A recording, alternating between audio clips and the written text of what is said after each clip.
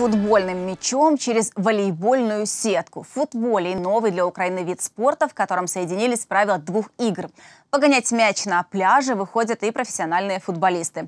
Как прошел первый этап чемпионата Украины по футболе, знает Олег Шумейко.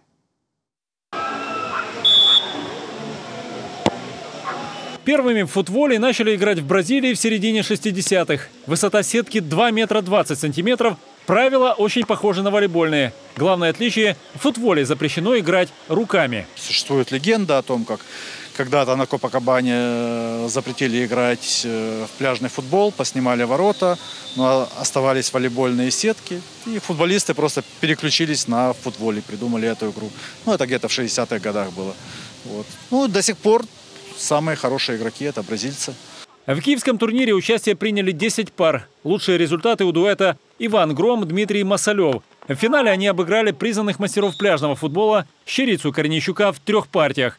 Помог международный опыт, ведь победители турнира смогли ощутить уровень футболя на зарубежных турнирах. Самыми сильными командами это Бразилия и Парагвай.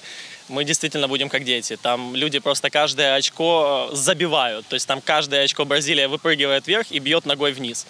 А Парагвай каждое очко головой разводит просто неимоверно. То есть мы играли и с Парагваем, и с Бразилией, то есть ну, у нас не было никаких шансов. Заниматься футболем украинские спортсмены начали совсем недавно. Понимают, что сократить разницу в уровне с топ-командами очень сложно.